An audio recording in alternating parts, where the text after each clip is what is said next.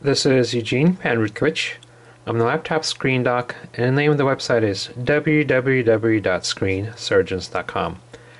Today we have a Toshiba Satellite C875 laptop computer with a cracked screen, and I'm going to show you how to replace a cracked screen on a Toshiba Satellite C875 laptop computer. Before we do anything with this or any other laptop computer, we want to make sure it's safe to work on, and that means removing all sources of power, which also includes the battery. So in order to remove the battery, we flip the laptop over, and on the bottom there's two levers right on top of the battery. So we slide these two levers out, and we flip up the battery like so, and we remove the battery. Once the battery is removed, the laptop is safe to work on. So, in order to get to the screen, we need to remove the screen bezel. The screen bezel is the plastic frame that goes around the screen and secured to the screen assembly by some screws which are hiding behind some rubber covers. There's two on top and two on the bottom. So before we start with this part, we're going to go over the tools that we're going to use. We have a PH1 electronics screwdriver. PH stands for Phillips and 1 is the size of the screwdriver. We have a smaller PH00 screwdriver for smaller Phillips screws. We have a 2 millimeter flathead screwdriver and that's used mainly to pry things open. A pair of metal tweezers to manipulate cables and to remove any screws that may be stuck and an X-Acto knife or a hobby knife and we will use that to remove screw covers and to lift up adhesive tape if needed. Okay, so that's the first thing we're going to do to remove the screen bezel is to remove the screw covers from the screws. There's two on top, so we put take one out, take them out one by one. And what I like to do with those is put them right beside the screw opening so that I don't lose them later on. So three, and this is four. Once we do that, we use our Phillips screwdriver, the PH1 screwdriver, to remove the four screws that are securing the screen bezel.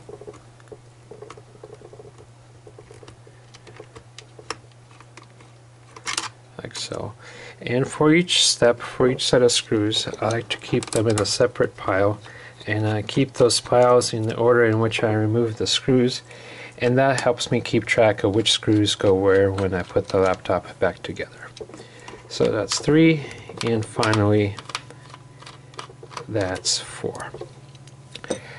Once we do that we can snap off the screen bezel and the way we do that is put our fingertips on the screen side and gently start lifting up the screen bezel and listen for snapping sounds. When you hear snapping sounds, that's a good sign. That means the bezel is coming off and we work our way around the screen. If you get stuck at any point, uh, just go to a different place and come back to that point. It'll usually come out easier. So we keep moving, like so. And then we lift the screen bezel out, like so, and we put it to the side. Okay, once we do that, the screen assembly is exposed. And for this type of screen, it's secured by some screws on the sides of some metal brackets. And we have to be able to access those screws. And the first trick we're going to try is try tilting the screen assembly forward a little bit. And we can access the top two screws on the side, but not the bottom. So we have another trick that we do. There's two screws on each side and they're secure the hinge assemblies to the back of the screen assembly. And we loosen those maybe a couple turns each and that will help us screen tilt the screen forward a little bit and that's all we need. And when you do that don't forget to tighten them once you start assembling the laptop once we do that we have decent access to the screws on the sides. There's three screws on each side so let's get the bottom one first. Let's get a better, angle for it. So what I'd let's adjust the angle. So what I did here is use the PH00 screwdriver and the reason I did that I can get into there and remove the screw a little bit easier. Then for the other screws we switch back to the PH1 screwdriver and those come out fairly easily. So when you're doing this make sure that the screen assembly is tilted backward a little bit because you don't want the screen to fall forward on you when you're done with everything when you remove the last screw. So once again we use our PH00 screwdriver to remove the bottom screw. And this one fell so we'll recover it later. You can use your tweezers to help you. And if you still don't have enough room in there you can always loosen these screws some more so that the screen tilts forward a little bit more from the screen assembly.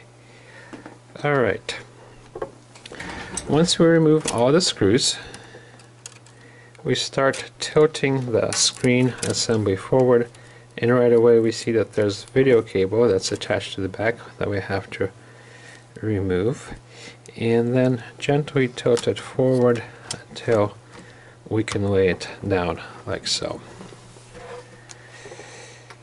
Okay, for this type of screen, there's only one connector, and it's on the bottom left when you're looking at the screen from the back and from the bottom. And we have to remove this connector, and it's secured by some adhesive tape. So we either use our X-Acto knife to lift up the adhesive tape, or we just use our fingernails and fingertips to lift up the adhesive tape and also on the back of the video cable there's some adhesive too so we lift that up and we gently pull the connector out and now the screen is free okay before we go any further I'm going to show you how to reconnect this connector when you put it back together you slide it in and you should feel but not hear two clicks. That means it's properly engaged. And let's get a closer look at what the properly connected connection should look like. So pause the video right there. There should not be a gap in the seam between the two sides of the connection. The two sides of the connection should be flush with each other as in this case. Okay let's keep moving on. So we disconnect the screen one more, once more time, and we take a look at this screen. This is a 17.3 inch LED screen, which is fairly commonly available. And let's take a look at the part number that we need. The part number that we need is B173RW01. BR73R W01 and that's the part number that you need to do your search on. Okay, we at Screen Surgeons um, also have this screen available for sale and what you get with us is that this exact same toolkit that I use here comes for free with the screen. So when you order screen the toolkit will be included with it. You have a two-year warranty on the screen itself and you have free email technical support. So if you get stuck somewhere along the way send us email and we'll help you walk through it and finally we ship from warehouses both on the east coast and the west coast so if you use ground shipping you'll get your screen in three days or less and if you live outside of the United States, uh, we ship to most countries around the world. Just follow the standard checkout procedure. To order the screen from us, uh, go to www.screensurgeons.com. There will be a short form for you to fill out which where we need your laptop model, and then that will guide you to buy the right screen online and just go through the checkout there. Okay, once you do get the screen from us, now connected as I showed you, mount it in the middle mounting brackets. If you're having trouble with the bottom screws, just put the top three screws in on each side and it'll be uh, it'll hold just as well together like that. And then tighten the hinge screws that secure the hinge to the back of the screen assembly. And then snap the screen bezel back on. And then put the two screws in at the top and two screws at the bottom. And uh, you should be done and with the screw covers okay uh, that's it. Uh, once again my name is Eugene Panrutkovich I'm the laptop screen doc and the name of the website is www.screensurgeons.com thank you very much and good luck